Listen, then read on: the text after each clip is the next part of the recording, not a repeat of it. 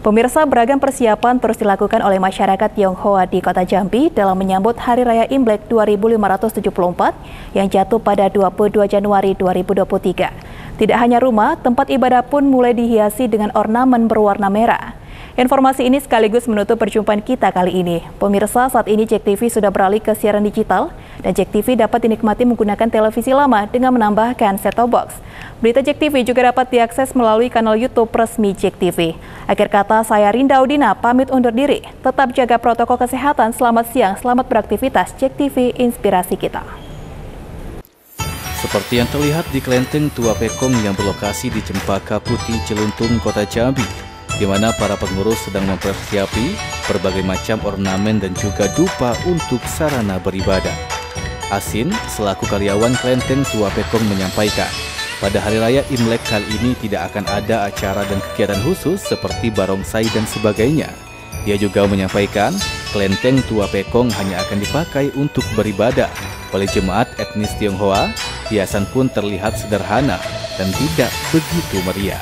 Karena menurutnya tujuan utama dalam penyambutan Imlek tahun ini adalah untuk beribadah, berdoa, dan menyampaikan keinginan kepada dewa. Artinya ya lilin-lilin nah dari di orang ibadah yang nyumbangnya kan. Iya.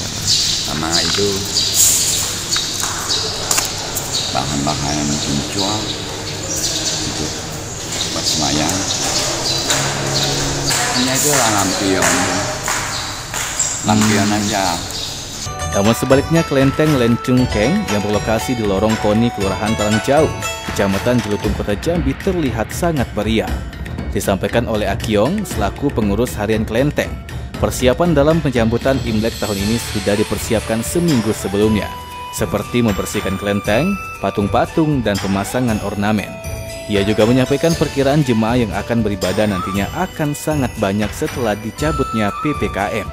Selain itu, Klenteng Lencung Keng nantinya juga akan menampilkan pertunjukan barongsai di Klenteng, namun tidak akan lama. Akiong berharap pada tahun kelinci air ini Indonesia dapat lebih maju dan seluruh masyarakat dari semua kalangan diberikan kesehatan. Biasanya kita sebelum menyambut tahun baru Imlek kita satu minggunya apa istilah kalau kita Imlek sebut Capjigo Isi itu dewa naik langit. Nah, jadi kita siap-siap untuk bersihkan lenteng, patung-patung, semua altar kita bersihkan semua. Nah itu menyambut Imlek. Persiapan dekorasinya ya itu uh, kira-kira 4-5 hari sebelum hari raya sudah kita persiapkan. Bazil, Cek TV, melaporkan.